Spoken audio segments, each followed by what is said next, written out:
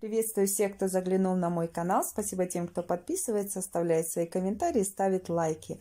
Как сказала бы Диана, ура! Вот она долгожданная пятница! Клининговая компания приедет убирать авгиевые конюшни. Но есть там небольшие проблемки. Давайте обо всем по порядочку. Диана на своей кухне снимает скотч со стекол. Самой мыть окна лень матушка вперед родилась. Если бы не предложили за рекламу убрать ее квартиру, до сих пор окна были бы заклеены скотчем. Ну а раз есть такая возможность воспользоваться чужими руками, халява плиз, надо пользоваться случаем. Что бы она ни начала делать, обязательно будет членовредительство. Ну ни до чего. То стукнется, то споткнется. Одирает скотч и уже опять куда-то вляпалась. Висит, как кошка, которой наступили на хвост. Квартиру она для уборки подготовила, рванула к маме с посылкой, которую ей прислали на обзор. Позже, сидя у мамы в квартире, она сказала, что это раскрученный бренд, и он не нуждается в рекламе, Раз присылают продукцию, значит, все-таки нуждаются в этой самой рекламе. Рекламировала она магазин, в котором можно приобрести не только кофе и какао, но и чай. Не проблема даже заказать праздничные наборы. Магазин полностью специализируется на напитках, предоставляет также приспособления для их приготовления, всякие там ложки, мерные стаканчики. Открыли они с мамой коробочку. Вот, попалась им первая коробочка с шоколадкой. Второй позицией было какао. Диана почему-то решила, что какао мужского рода. Я специально посмотрела в интернете. В украинском языке какао мужского или среднего рода, чтобы знать. И Вики словарь выдал мне информацию, что в их языке точно так же, как и в русском. Какао – существительное среднего рода и точно так же не склоняется. Также в наборе была пачка чая, несколько наклеек, ну и, соответственно, упаковка с кофе. Диана очень долго расписывала, что родители любят этот напиток и в нем разбираются. Ира прочитала, что кофе с ароматом, почему-то было написано черного чая, меда, нектарина и со вкусом желтого яблока и хурмы, и сказала, да я не знаю, я ничего такого не замечаю, не ощущаю, не чувствую. Не знаю, какой у них кофе, но мне не очень нравится кофе мелкого помола и с кислинкой. Кстати, про кислинку они тоже разговаривали. Диана хотела сварить этот кофе в кофемашине, а так как кофе был не в зернах, Ира не захотела менять ячейку. Решили сварить кофе в турке. Диане эта идея ой как не понравилась, и она назвала маму лентяйкой. Это та, которая ходит перед всем белым светом в мятой пижаме? Ира второй день в этом костюме, и он у нее будто только что отутюженный.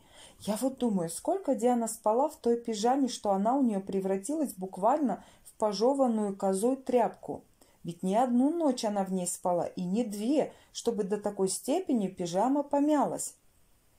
Она в ней спит, я даже не могу предположить, сколько нужно времени, чтобы она так помялась. Я пижамы стираю каждые два дня, у меня они не успевают так измяться. Значит, нужно гораздо больше времени. И она, конечно же, ну ни разу не считает себя лентяйкой. Диана пробует кофе. Мама дорогая, какие мешки у нее под глазами. Я в этот раз решила узнать в интернете, может ли появляться такая отечность из-за чрезмерного употребления кофе. Так и да. В статье говорилось о пяти напитках, которые могут привести к такой отечности лица, и первым в списке стоял кофе. Если бы у меня была такая проблема, я бы сделала все возможное, чтобы ее решить. И если бы это было из-за того, что мой любимый напиток делает такое с моим лицом – я бы от него отказалась. Из-за кофе выглядеть как бухарик? То нафиг нужно, скажем дружно. Попробовав кофе, Ира сказала, что после кофемашины кофе из турки ей вообще не заходит. Никаких вкусов и ароматов, указанных на упаковке, Ира не почувствовала. Единственное, что она отметила, что именно этот кофе густой. Диана говорит, ну давай, мама, я тебя теперь угощу шоколадкой, дам тебе маленький кусочек. Какая заботливая дочка. А если мама захочет большой кусочек, ничего не получится. Большой она и сама может съесть, да? Поэтому довольствуйся, мама, маленьким. Ну, в самом деле, отломила небольшой кусочек. Набор этот, как сказала Диана, стоит 1200, и она говорит, не считаю это дорогим подарком. Возможно, в данный момент она подумала о том, что если бы ей подарили такой подарок, она бы так посчитала. Но дарить кому-то за такую сумму она ничего не стала бы. Она ходит и считает буквально каждую копейку. Она обувь себе покупает за 400 гривен. А купить несколько небольших пачек кофе, какао и чая за 1200 для нее недорого. Если бы я не смотрела ее видео, и это было первое, ну тогда бы я еще в это поверила. А так как я ее уже неплохо знаю, то считаю, что в данный момент она врет.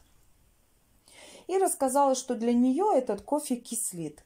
Диана говорила о том, что не чувствует ничего такого. Эм, да, у людей разные, конечно, вкусы. Один что-то чувствует, другой нет. Можно было бы на это списать. Но когда она начала рассказывать историю про клининговую компанию, я поняла, что она просто не хочет портить обзор на магазин с кофе, чтобы еще раз получить такую же коробочку на обзор. Даже если кофе и для нее кислый, но его же можно просто не пить, он же даром достался. А вот чай, какао и шоколадка вполне годятся для бесплатного подарка. Зачем сейчас саму себя топить и говорить, что «Ой, нет, фу, ребята, невкусный кофе, не покупайте». Нет, конечно, Диане все очень понравилось. Итак, история с клининговой компанией. Они договорились на пятницу. В четверг Диана с ними связалась и уточнила, все ли в силе. И выяснилось, что нет. У них очень много работы и в пятницу, но никак у них не получается приехать к ней. Уборка планировалась аж 6 часов, чтобы они ее сделали во всей квартире. Спросили у Дианы, будет ли у нее возможность принять их в другой день, и Диана сказала, что у нее работа, тренировки и прочее, прочее, прочее. В общем, времени у нее нет. Плюс не надо забывать о том, что она собиралась в пятницу уже украсить квартиру к Новому году, а клининговая компания, видите ли, занята. Ей теперь что, самой выгребать свою грязь? Ведь она не хочет откладывать. Елка-то зовет уже, чтобы ее нарядили. Диана разобиделась и решила не сотрудничать с этой компанией. Она больше не будет. Ну, значит, придется засучить рукава и самой мыть стекла. Ха, вот тут-то я ее и недооценила. Ира считает, что Диана слишком категорично могла бы дать им второй шанс, но Диана на этот счет имеет другое мнение и считает, что договор дороже денег. А Диана может со стопроцентной уверенностью сказать, что она никогда никого не подводила, что у нее не менялись обстоятельства, и из-за этого ей приходилось подводить других людей. А я могу напомнить, такой случай недавно был. Вот благодаря тому, что я смотрю сейчас все ее видео, я очень хорошо помню, как она попросила девушку в ее выходной день посотрудничать с нею и помочь ей снять рекламу еды. В тот день у Дианы сломался замок на юбке, порвались колготки, и она очень сильно опоздала. И все это время девушка впустую тратила часы ожидания своего выходного дня – Значит, себе Диана найдет любое оправдание. А если не получилось у целой компании организоваться, то это значит несерьезная компания, и она с ней сотрудничать уже не желает. На протяжении жизни я заметила, что люди, которые очень категоричны к другим, крайне снисходительны к себе. И сейчас я вижу еще одно подтверждение вот в этой ситуации с Дианой. Ира меня рассмешила. Она все пытается переубедить Диану, чтобы она не была столь категорична и согласилась все-таки на сотрудничество. Говорит, а мне было бы интересно посмотреть, как эта клининговая компания наведет порядок в моем жилище. Диана говорит, переоформить заказ на себя? И тут Ира выдает. Не нужна мне клининговая компания, чтобы я после нее еще и убирала. Диана такое лицо сделала после слов мамы. Ей такая мысль в голову явно не приходила. Но зная Иру, я точно могу быть уверена в том, что так оно и было бы. А еще я думаю, если бы клининговая компания пришла к Ире, они бы посмотрели бы вокруг и сказали бы, вы издеваетесь над нами, здесь у вас уже все убрали, а вы теперь для смеха позвали нас, да тут работы никакой нет. Диана специально постаралась. Она не убирала в квартире, чтобы людям действительно было чем заняться и показать мастер-класс. У Иры такой возможности им не предоставилось бы. Диана продолжает топырить пальцы и говорит, «Можете закидать меня тапками, но я в этом вопросе принципиально. Да не буду я бросать тапки или какой бы то ни было другой предмет. Мне жалко даже для того, чтобы выказать ей свой фунт презрения. Принципиальная она, но не там, где надо. К себе бы относилась с такой принципиальностью и некогда было бы возмущаться в отношении компании. Ира говорит, ну и драй тогда квартиру сама. Диана говорит, ну и буду драить сама. Ей так понравилось говорить о принципах, она снова повторила, это дело принципа, мама, понимаешь? И сделала при этом такую рожу соответствующую. Дело принципа. И сказала, что нужно знать себе цену. Дорогая, мало знать себе цену, важно еще пользоваться спросом. Поэтому возьми копейку, узнаешь себе цену и вернешь сдачу.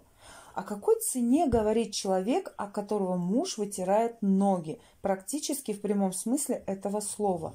Он ее не уважает, он ее ни во что не ставит. Она за свои деньги купила копеечный лаваш за 20 гривен, и он у нее спросил, нафуя ты это сделала? Он с ней разговаривает матом.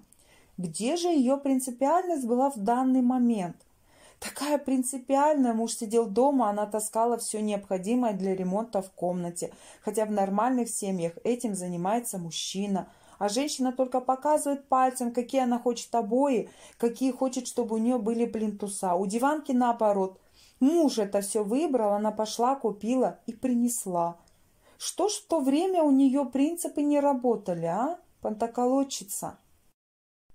Ее дома муж ни во что не ставит, поэтому она решила, ну, хоть где-то показать, что она не какая-то букашка, а ее слово имеет какой-то вес, и у нее есть принципы. У этой клининговой компании полным-полно заказов, так что они без рекламы дивана прекрасно обойдутся. А она пусть берет тряпку в зубы и отмывает свои окна сама. Сидит шоколадку наяривает. Маме отломила маленький кусочек, зато себя, любимую, кормит как на убой. «Очень вкусная шоколадка», — говорит Диана, — «понравилась ей». Правильно, значит, надо сожрать это все самой. В этот раз вечерняя болталка у Дианы была очень короткой. Она поделилась со своей аудиторией фильмом, который она посмотрела, посоветовала его к просмотру, и тут на нее напала кошка. Диана так вытаращила глаза и распахнула рот, будто кошка совершила какой-то непоправимый проступок, а она всего лишь напала, как я уже сказала, на диван. Накупили, понимаешь, диванов, честной кошки теперь культурной, и пройти-то мимо нельзя.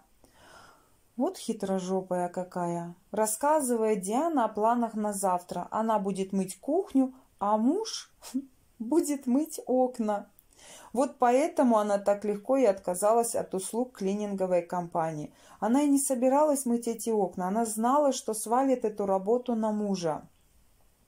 Очень хочется думать, что все-таки в кухне она эти стекла, ну хотя бы частично, но будет драить сама. Что Леша встанет в третью позицию, стукнет кулаком по столу и скажет, вообще-то это твои обязанности отмывать окна, поэтому сама ими и занимайся. Вот таким вот был мой обзор. На этом я буду его заканчивать. Всем спасибо за просмотр. Надолго не прощаюсь с вами. Всем пока.